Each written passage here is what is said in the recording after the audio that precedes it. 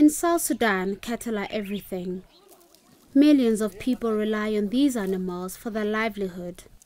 The preferred form of currency is not cash, but cows. Yet with the seasonal movement of these precious beasts to find grazing pastures and water comes problems.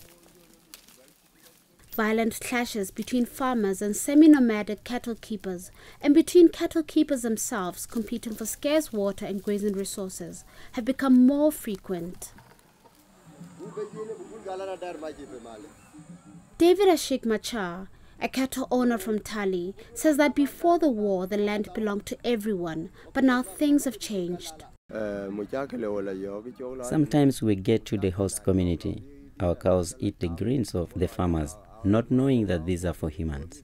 It causes many problems, and we are forced to pay a heavy fine, usually a cow or two. The farmers also slaughter our cattle as revenge.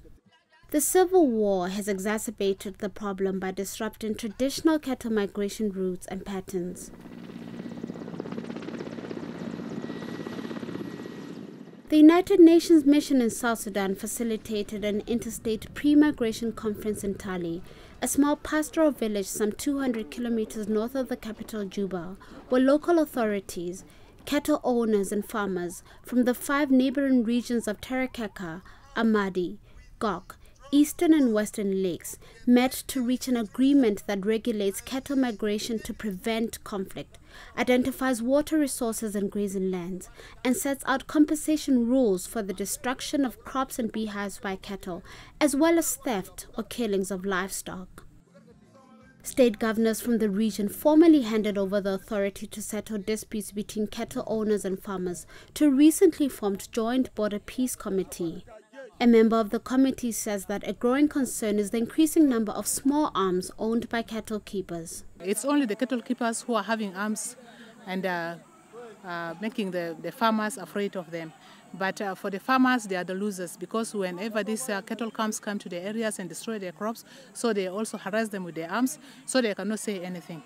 The ongoing civil war has contributed to the proliferation of arms, leading to local authorities trying to disarm civilians the way I'm seeing them understanding, maybe sooner or later they will understand more and then they will start to drop arms because they know now that they are just destroying themselves alone with their arms. David hopes for the best but has doubts about the effectiveness of the ongoing disarmament process.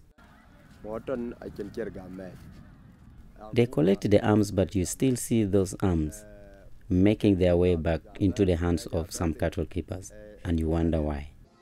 He believes that collecting arms from civilians will not stop all violence related to cattle migration, but it will help reduce the number and severity of clashes. The annual migration of livestock during the dry season remains an integral part of the South Sudanese social fabric. It is hoped that the guns will slowly leave the hands of civilians and that peace will return to these communities.